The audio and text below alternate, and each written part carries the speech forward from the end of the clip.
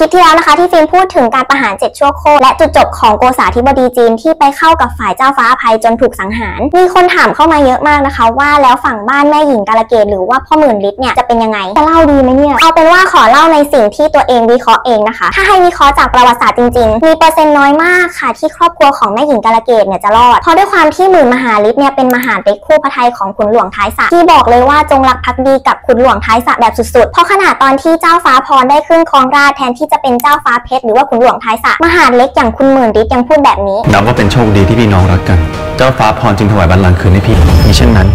แผ่นดินคงลุกเป็นไฟ เป็นเช่นนั้นอย่างแน่นอน คงมิทรงยอมหรอก และพวกเรา